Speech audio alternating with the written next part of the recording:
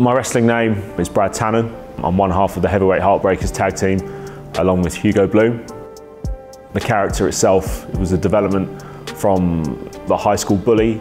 Coming into wrestling, I saw myself more on the heel side or the bad guy side of things. And the inspiration for the name came from Back to the Future. Most people know the school bully, and that was Biff Tannen. So Brad Tannen kind of just rolled nicely off the tongue. Show us your love! When I was a kid, I would, you know, make championship belts out of cardboard and I would play wrestle with friends or my brother or whatever, but it was always a pipe dream.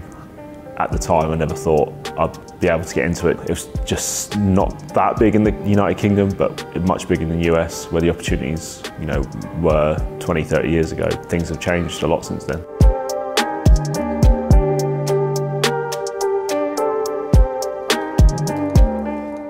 My personal wrestling journey started when I was 27 years old. I just quit playing rugby and I still needed a physical outlet. Wrestling to me, you know, and to a lot of the guys, it's, it's one of the most physically demanding things you can ever do. There's a misconception and a preconception that because it's an element of uh, predetermination that it's easy and it's fake, and I hate that word. There's nothing fake about it. Every slam, every punch, every kick, getting yourself off off the canvas every time, it takes some real heart and guts. And once the adrenaline's died down, it's when you feel the pain. You've just got to make sure that the adrenaline and the pump and the love for wrestling outweighs that pain. Otherwise, you're not going to make it.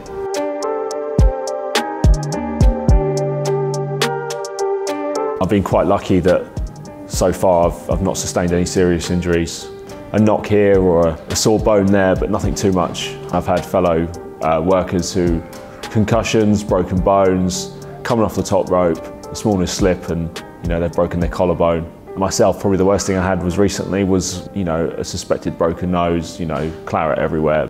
The British wrestling scene um, has never been better and bigger as, as it has been now. There's such a good community spirit with it and the sort of a looking out for each other sort of spirit to, to it now. Backstage, you'll always have someone looking out for you or after you, pointing you in the right direction if there's things they would suggest for, for a match that could make it better or even if it's as simple as not seeing someone for six months and saying how you doing mate once you've met someone in wrestling there's always that sort of brotherhood that doesn't seem to go away